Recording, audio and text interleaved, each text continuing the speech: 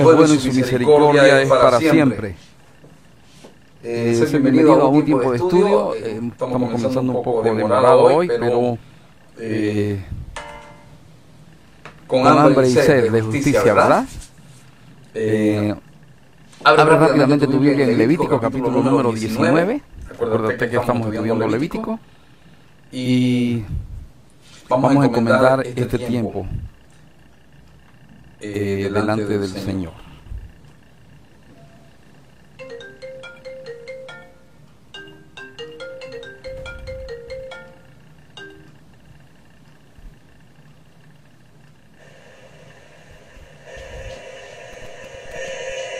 Parece, que, tenemos,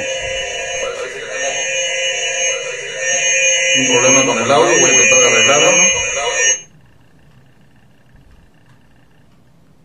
Tengan un poco de paciencia porque tengo un problema aquí.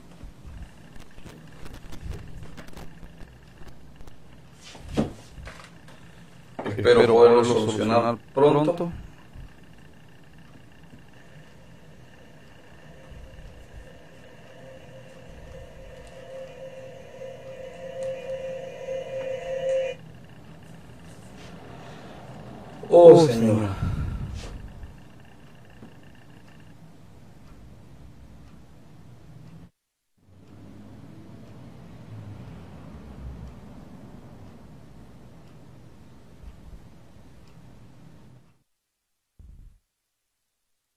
Creo que ahí estamos.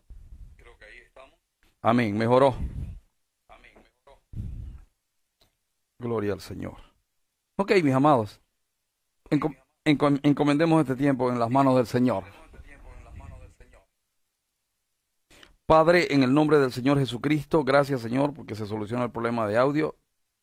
Y gracias Señor porque nos permites estar en tu presencia esta mañana para inquirir, para estudiar, para entender más tu, lo que tú mandas, lo que tú pides, lo que es bueno, lo que tú pides de nosotros. Señor, lo que tú eres para nosotros. Mi Padre, estamos estudiando Levítico, una porción muy importante de tu palabra. Hay una serie de normativas, de enseñanzas, de regulaciones que tú pones y con el propósito de que tu pueblo sea totalmente otro. Mi Padre, permítenos entenderlas esta mañana, permítenos caminar como tú quieres. Dios mío, gracias porque eres bueno y porque tu misericordia es para siempre. Señor, Bendice a cada hermano que está ahí del otro lado, a cada hermano que va a ver este estudio y Señor que en, medio de oír tu palabra y leerla, nuestra vida sea transformada por tu Espíritu Santo. Espíritu Santo, llénanos, nos rendimos a ti, te pedimos que llenes nuestra vida, nuestra mente, nuestros corazones de, de, de lo tuyo. Abre nuestro entendimiento, limpia nuestro ser, Señor, con tu palabra. En el nombre de Jesús, amén. Acuérdense que estamos viendo Levíticos y que ayer vimos la, importancia de que entre los hijos de Dios, la importancia de que el pueblo de Dios sea totalmente otro en cuanto a en cuanto a pureza sexual. Y eh, es interesante porque es una un, es un tema que el Señor lo toca en varias partes del Levítico. Y usted verá que eh, eh, ayer vimos lo que no debían hacer, luego veremos cómo se castiga, cómo se castigaba en ese tiempo cada, cada actitud de contraria a lo que Dios manda. Bueno, ahora vamos a ver recomendaciones respecto de santidad. Y vamos a, a ver tres áreas. Usted sabe que santidad o santificarse también quiere decir consagrarse. Usted, usted entiende que también la palabra, la palabra santidad significa muchas cosas, significa apartado para, significa totalmente otro, significa consagrado o significa también quien se consagra. Así que vamos a ver recomendaciones de santidad y vamos a meditar pensando en cómo es la santidad, cómo es la santidad que Dios demanda ¿Cómo es la santidad que Dios demanda de su pueblo, de los que son suyos? Y en primer lugar, vamos a ver que los que son su pueblo son consagrados para Él y delante de Él. No basta con decir yo soy consagrado a Dios, sino saber que estoy delante de Dios todo el tiempo y que mi actitud delante de Dios debe ser de consagración. Soy apartado para Él. Pastor, eso podría ser una especie de esclavitud. Si usted lo quiere, sí. Pablo cuando habla de la gracia dice Pablo esclavo de Jesucristo. Es una especie de esclavitud hacia la libertad. Eh, Pablo decía, ya no vivo yo, Cristo vive en mí. Eso es negarse. El Señor Jesucristo dijo, ¿quieren venir en pos de mí? Niéguese a sí mismo, tomen su cruz y sígame. Estaba hablando de eso, de consagrarse, de santidad para Él, de consagración para Él y delante de Él. Y mire, dice, habló Jehová a Moisés diciendo, habla toda la congregación de los hijos de Israel y diles, santos seréis, porque santo soy yo, Jehová vuestro Dios. Cada uno temerá a su madre y a su padre, y mis días de reposo guardaréis. Yo, Jehová vuestro Dios. No os volveréis a los ídolos, ni haréis para vosotros dioses de fundición, yo Jehová vuestro Dios. Y cuando ofreciereis sacrificio de ofrenda de paz a Jehová, ofrecedlo de tal manera que seáis aceptos. Será comido el día que lo ofreciereis y al día siguiente, y lo que quedare para el tercer día será quemado en el fuego, y si se comiere el día tercero será abominación, no será acepto. Y el que lo comiere llevará su delito por cuanto profanó los santos de Jehová, y la, y la tal persona será cortada de su pueblo. En primer lugar, consagrados en él, para él y delante de él. Y una muestra de que una persona era consagrada a, eh, eh, en Dios y para Dios era que temía a los padres. Eh, el temor a los padres, el temer a los padres es no solamente una, una un mandamiento, sino que es una característica de los hijos de Dios.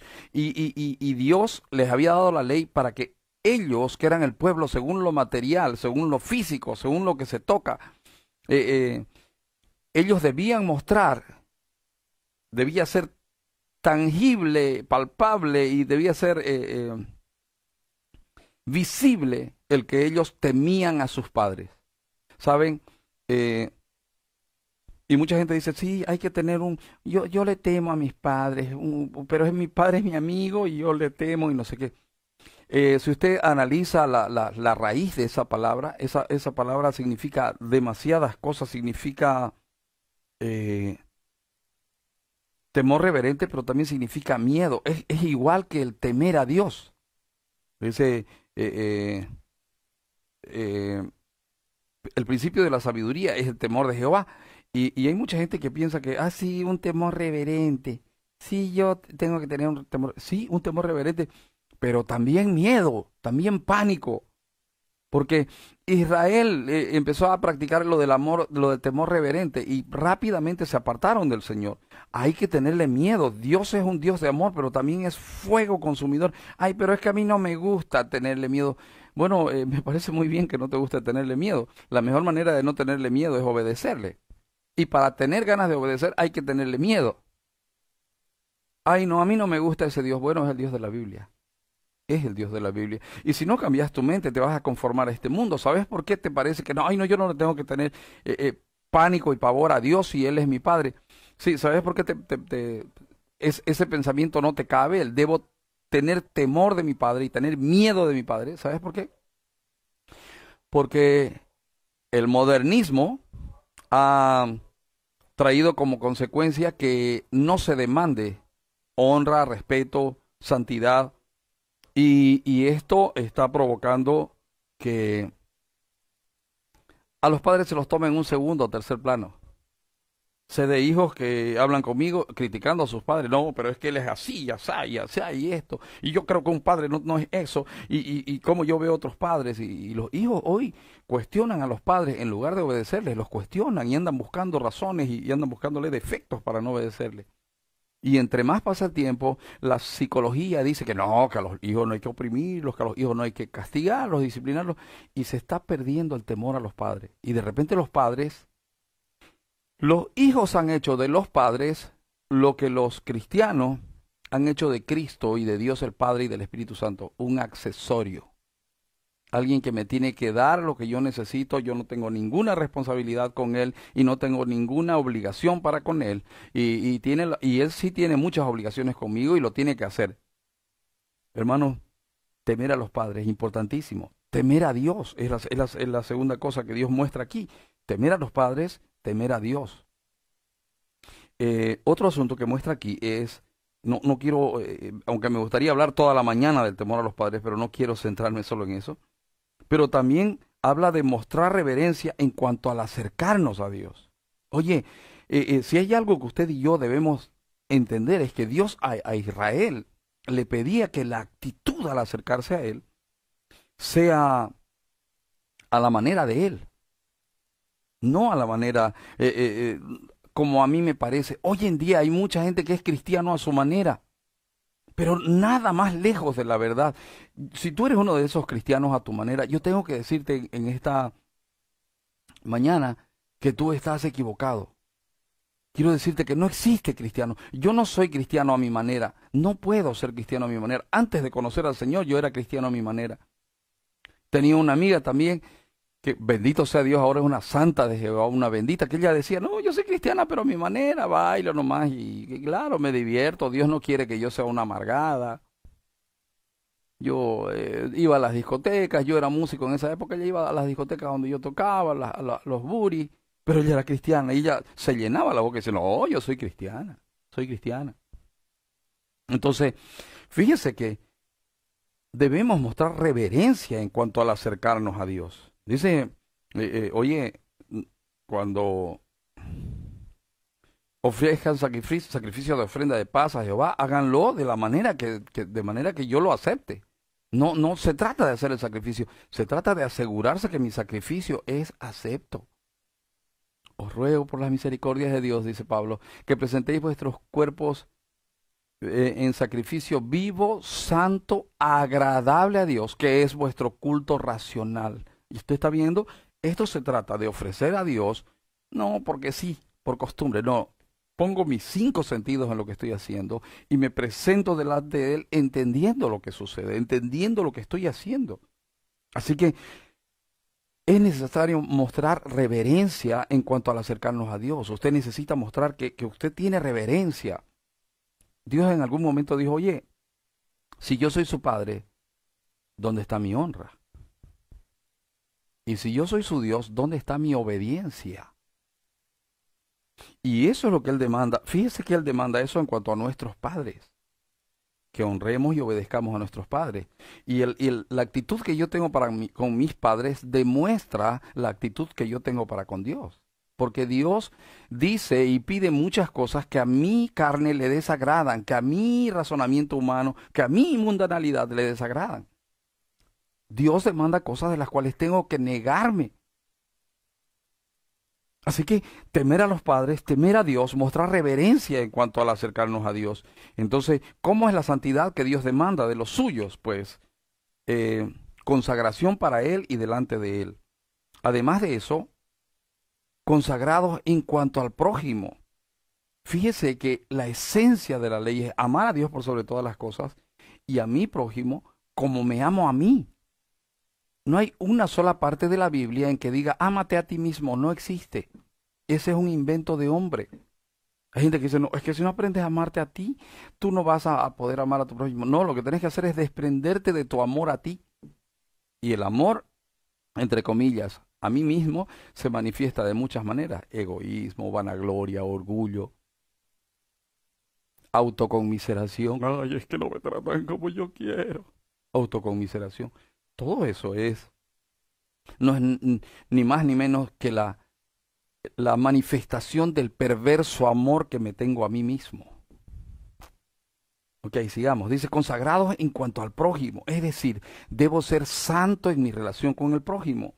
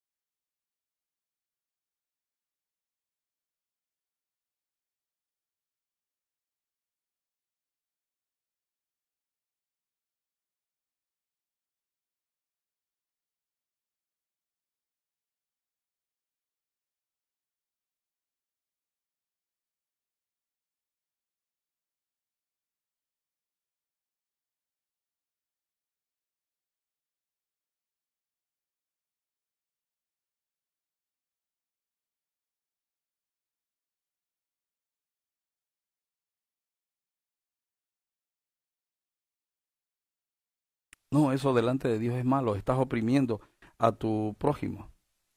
Y necesitas, eh, pues, hacer lo que es correcto delante del Señor.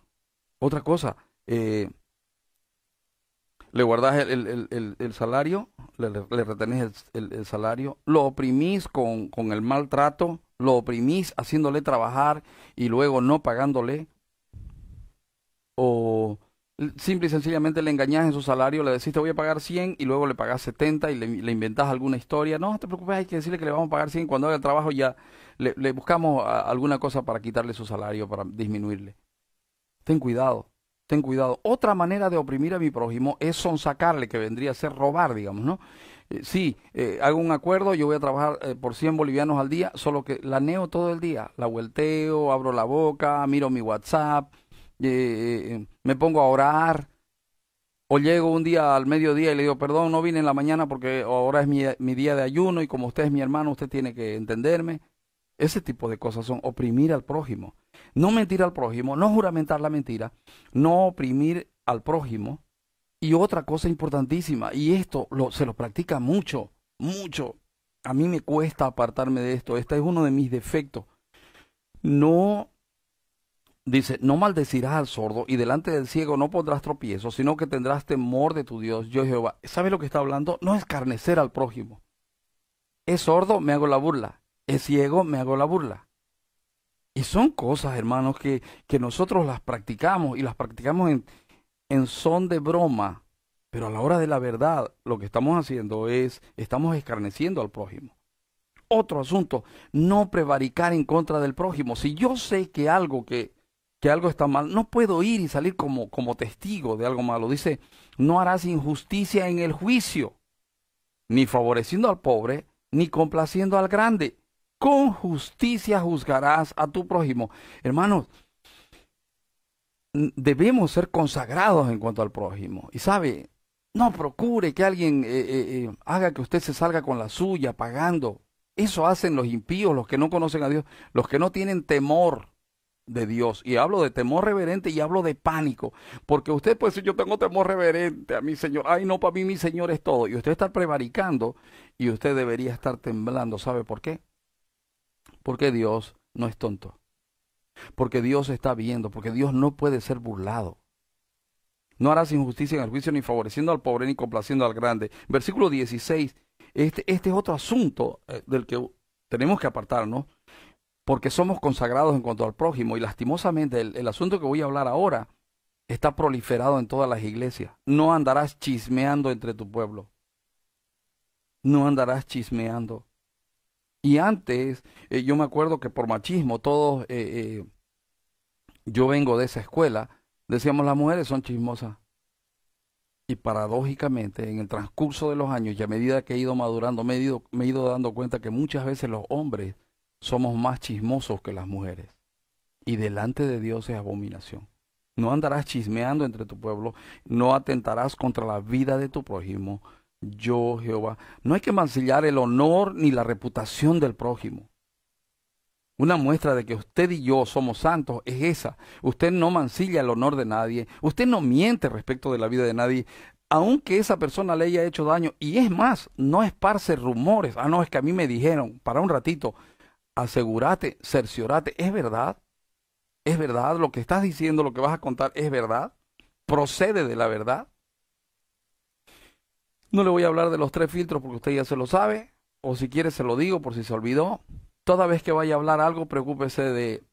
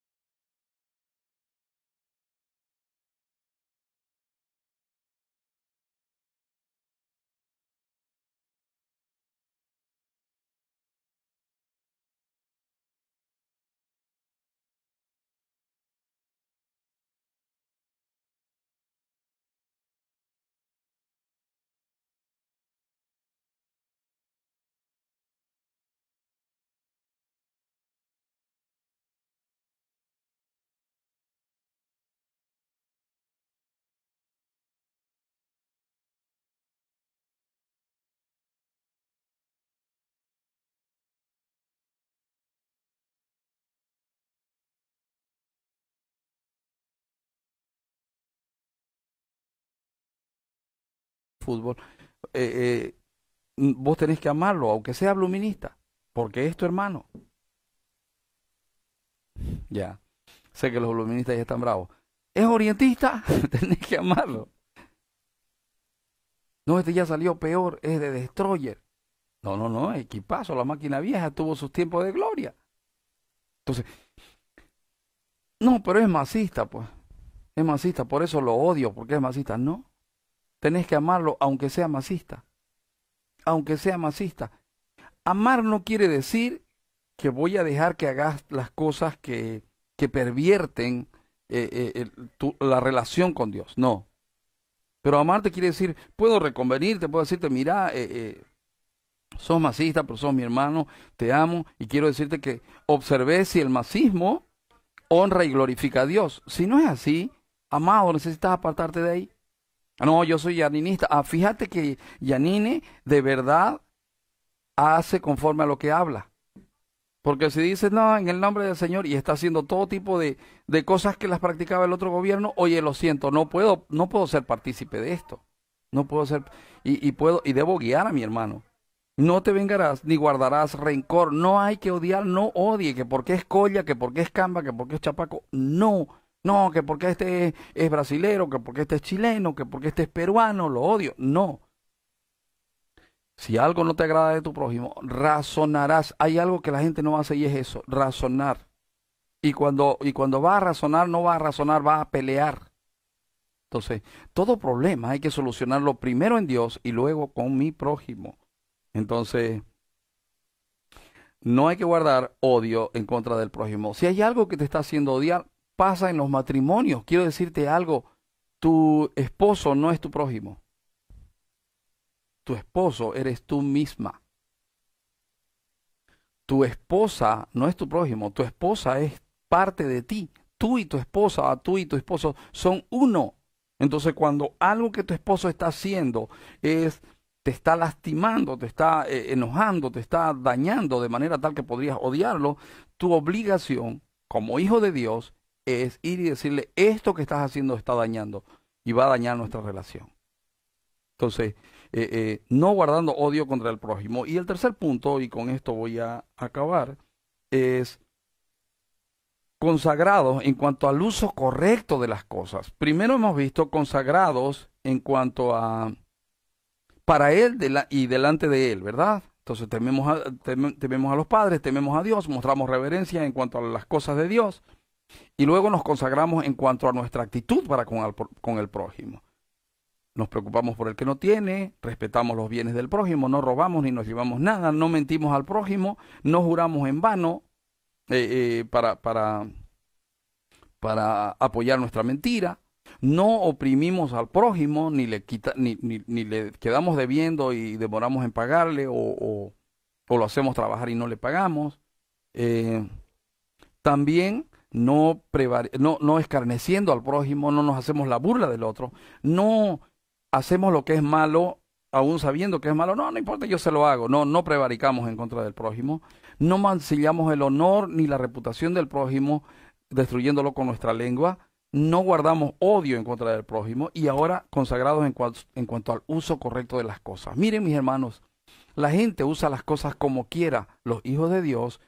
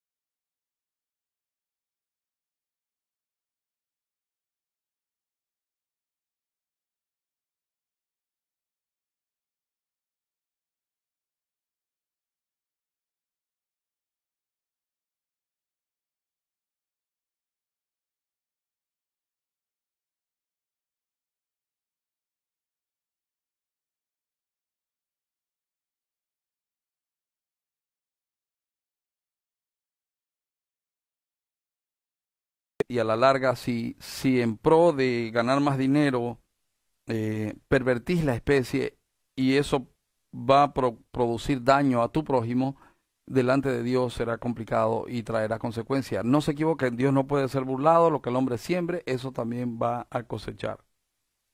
Eh, otro asunto es respetar lo que es del prójimo. Oye, no te metas con la mujer de tu prójimo. Aun si fuere su sierva desposada con alguno. Si es una esclava y te la topaste por la calle, por el hecho de ser esclava no te podés abusar de ella. Y si fuere así, eh, y ella no, no, no, no estuviera rescatada ni le hubiera sido dada libertad, ambos serán azotados. No morirán por, por cuanto ella no es libre. Así que, eh, pero debe ser castigado el no respetar lo que es del prójimo. Otro asunto, esperar el tiempo adecuado en cuanto a los árboles frutales.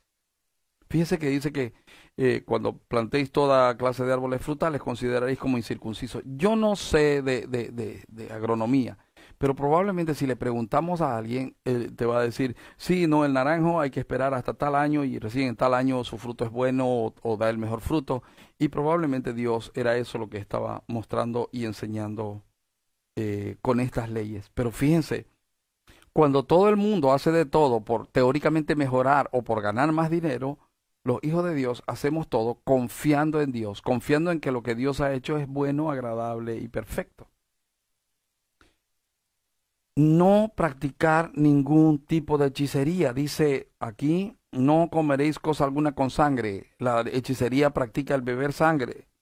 No seréis agoreros, es decir, de los que anda diciendo, he aquí que yo veo que vendrá para tu vida. Estoy augurándote años eh, así o así. No, no, usted no, usted no va a ser agorero. Usted no va a venir con augurios. Otro asunto, usted no va a ser, no va a venir a adivinar. No venga con, con adivinaciones.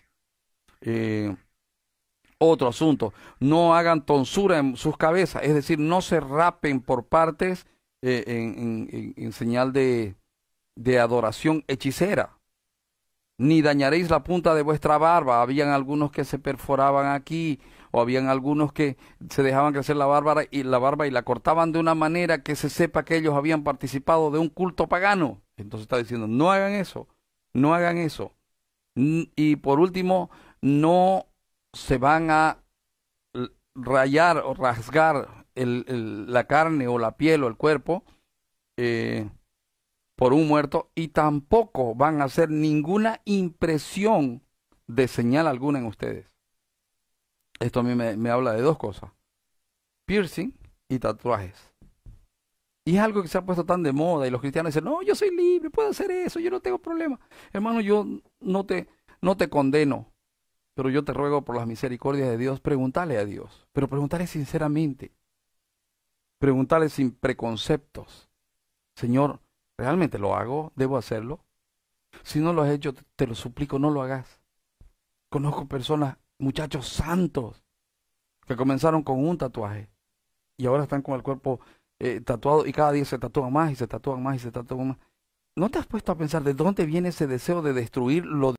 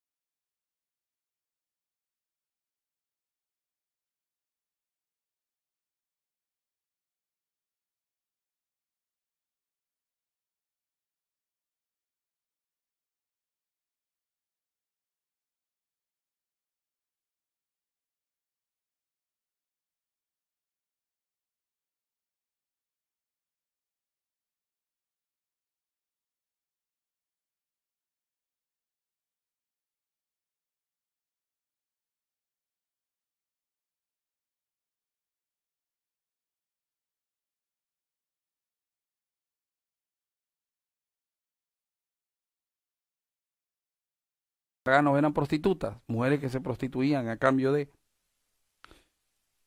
Luego dice, eh, mis días de reposo guardaréis y mi santuario tendréis en reverencia yo Jehová. Es importante eh, no practicar ningún tipo de, de hechicería.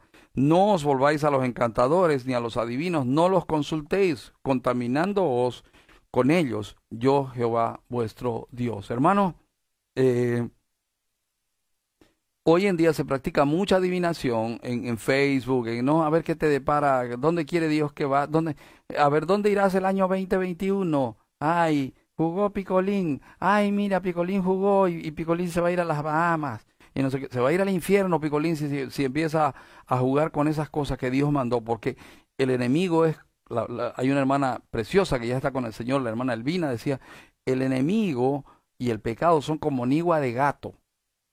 Empieza chiquitita, no te das cuenta, y luego de ahí va tomando eh, eh, cuerpo y va creciendo, creciendo, creciendo, creciendo. Es como una ponzoña que se te mete, como un animalito que se te mete, eh, para los que no saben qué es nigua en otros países, es, es, un animalito que tienen los gatos, es un bicho que tienen los gatos que se, que se, que se agarra en la piel y luego ahí va haciendo su casa y va comiendo la piel y va haciendo su, su nido y lo llena de huevos en tu cuerpo o en el animalito. Hermanos, tenga cuidado. Nosotros empezamos a darnos licencia en una cosita y cuando acordamos hemos ido demasiado lejos en nuestras licencias y el temor de Jehová va menguando y la, y, la falta de santidad va creciendo no os volváis a los encantadores. Y luego en el versículo 32 dice, delante de las canas te levantarás y honrarás el rostro de tu anciano y de tu Dios tendrás temor yo Jehová. Saben, hermanos, vivimos en un tiempo en que menospreciamos a los viejos, vivimos, vivimos un tiempo en que nos burlamos de los viejos, en que eh, eh, consideramos que nosotros porque somos jóvenes somos los que sabemos, bueno, y ahora yo estoy entrando en, el grupo de los viejos, ¿verdad? Pero yo también he tenido la actitud de, de, de, de menospreciar. No, necesitamos honrar a los mayores. Oye, delante de las canas te levantarás y honrarás el rostro del anciano, y de tu Dios tendrás temor, yo Jehová. Y finalmente dice, cuando el extranjero morare con vosotros en vuestra tierra, no le oprimiréis, así como no debo oprimir a mi prójimo, dentro de, de, de, del rango de mi prójimo está el extranjero. ¿Cuántas veces nos impacientamos con los venezolanos que están por ahí por la calle pidiendo. Eh, eh, ¿Cuántas veces nos impacientamos cuando aparece alguien que no habla nuestro idioma y, y lo maltratamos por eso y lo escarnecemos y nos burlamos? Y decimos que tememos a Dios. Dice en el versículo 34, como a un natural de vosotros tendréis al extranjero que mora entre vosotros y lo amarás como a ti mismo porque extranjeros fuisteis en la tierra de Egipto, yo Jehová vuestro Dios. Yo me acuerdo que una temporada en un grupo donde yo estaba decíamos gaucho pirata, gaucho pirata, no, ese gaucho es pirata, estos gauchos son piratas, y con eso alimentábamos la bronca hacia el extranjero. Gracias a Dios que pudo más la, costumbre cruceña de la hospitalidad y fuimos hospitalarios con los extranjeros y luego cultivamos preciosas amistades. Pero hay que tener cuidado. Y luego dice, no hagáis injusticia en juicio en medida de tierra, en peso ni en otra medida. Es decir, hay que apartarse de todo tipo de injusticia al prójimo. Juicio, es decir, no voy a comprar jueces, no voy a comprar jurados, no voy a comprar fiscales a fin de salirme con la mía y hacer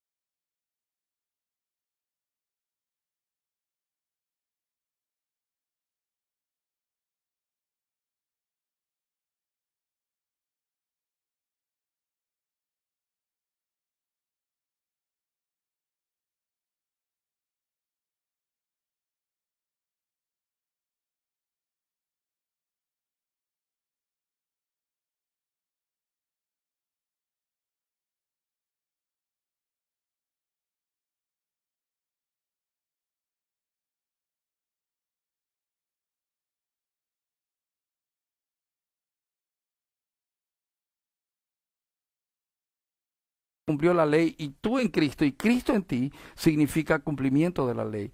Y la base, eh, eh, no, pero es que yo no me voy a aprender todas, todas esas cosas de los mandamientos. Sería muy bueno que te lo aprendas, pero no obstante, hay dos cosas que priman en el verdadero Hijo de Dios. Y es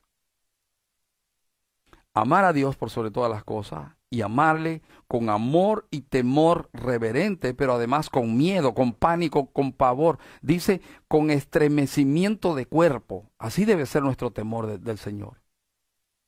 Necesitamos dejar de minimizar eh, eh, la santidad de Dios. Acuérdense, Dios no dejó que Moisés entre. Moisés, que fue mejor que vos y yo a la legua, Moisés no entró a la tierra prometida y se murió por causa de uno o dos errores. ¿Te crees más que Moisés? ¿Piensas que Dios te va a aguantar más? No, pero es que yo estoy en el Hijo. ¿Estás realmente en el Hijo? Es lo que te tiene que preocupar. Estas cosas son reales por naturaleza en ti. Porque lo que antes era una condición, ahora en la gracia es parte de nuestra naturaleza. Es decir, todo esto, el consagrarme en Él, para Él y delante de Él, el consagrarme en cuanto al trato que le doy a mi prójimo y el consagrarme en cuanto al uso correcto de las cosas, mis hermanos amados, es una muestra de que soy un hijo de Dios y que en mí se ha magnificado la ley a través del Señor Jesucristo. No, no, no te estoy viniendo con... No te, no te estoy viniendo con legalismo, no quiero hacerte una persona legalista, eh, pero sí quiero hacerte una persona legal, como dicen los brasileños. El anhelo de mi corazón es que esta palabra produzca en nosotros el querer como el hacer. El anhelo de mi corazón es que a través de esto entendamos que nuestro Dios no es un Dios de budín, no es un Dios de mentira, no es un Dios blandeque, no. Nuestro Dios es todopoderoso, es Dios, sabe todas las cosas, es omnipresente, es santo, santo, santo, está airado contra el impío y el pecador todos los días y además de eso está mirando a su pueblo y para su pueblo es fuego purificador, es fuego consumidor. Entonces, eh, el principio de la sabiduría es el temor del Señor. ¿Oramos?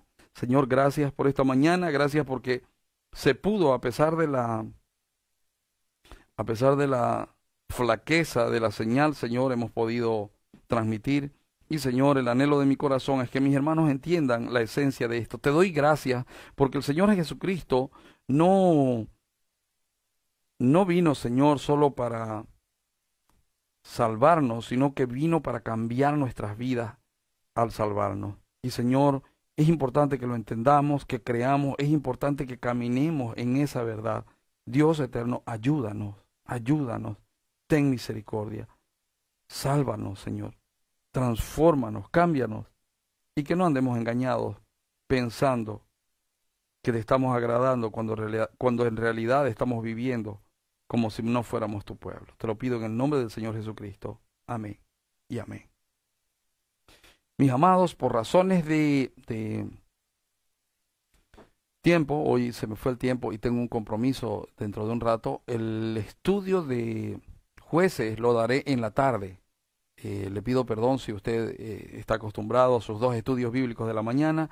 Por favor, perdóneme y ayúdeme a... Eh, entendiéndome en este, en este caso. Bueno, eh, otro asunto eh, respecto de los videos de, de, los especiales para el aniversario, quería decirle, si usted, eh, que no se estrese con el asunto del trapo verde, del, del, paño verde o del fondo verde, si usted no lo tiene y usted tiene un, un lugar bonito de su casa, puede hacer su video en ese lugar en, un lugar que a usted le agrade, en un lugar donde usted se sienta cómodo. Si humanamente no le gusta el lugar donde usted está y necesita hacer un cambio, ahí preocúpese por el, por el trapo de color verde que se pone en el fondo para que nosotros le pongamos una otra imagen a su video. Bueno, eh, no se olviden, es la hermana Marlene la encargada y en el caso mío, en el caso de los extranjeros, de los que están lejos, eh, me los pueden enviar a mí sus videos al WhatsApp más 591-721-00403. Eh, te enviaré este estudio ahorita mismo por WhatsApp y, y en la tarde nos vemos para estudiar jueces. Bueno, el Señor los bendiga. Chao.